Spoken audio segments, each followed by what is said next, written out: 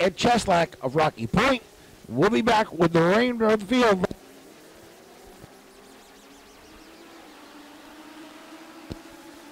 Dueling green flags fly, and Silas Hiscock in car number 07 will lead him.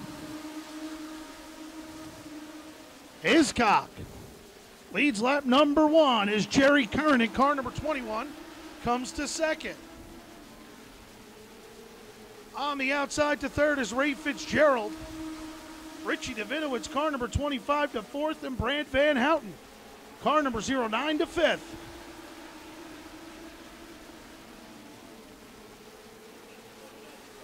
Car number 24, Ray Fitzgerald. All over the back bumper of Hiscock.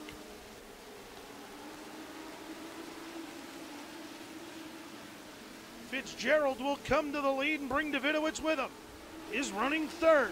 Brendan Bach is fourth. Fifth is Jerry Curran, but he's feeling the heat from John Beatty Jr. And Beatty will come to position number four.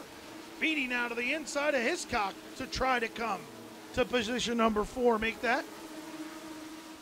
Ray Fitzgerald, one of the all time leading eight cylinder enduro winners here at Riverhead Raceway, trying to hold off big money.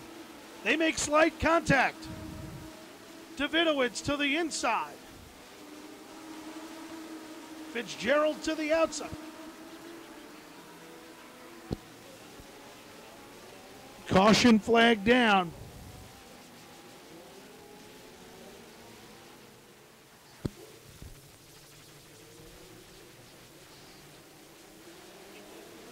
Eleven laps down, nine remain. Good restart for Fitzgerald, but here comes big money Richie Davidowitz, but here comes Bach to the inside of Davidowitz.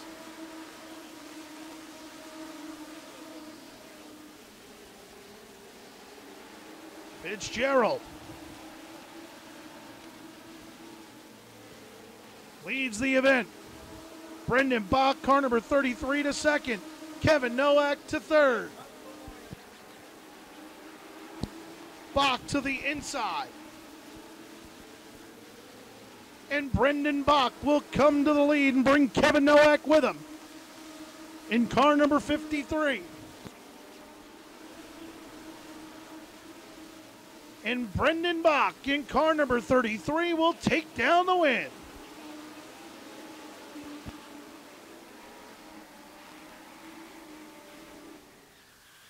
So Brendan Bach, who's also going to see some part-time action in the SK Modified division. He was fifth a couple weeks ago in a Rocco Racing entry.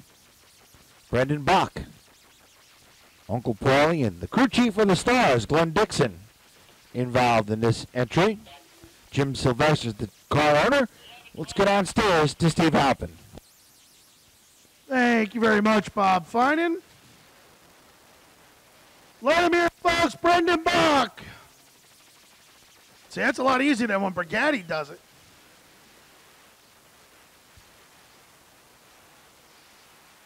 Come here, big fella.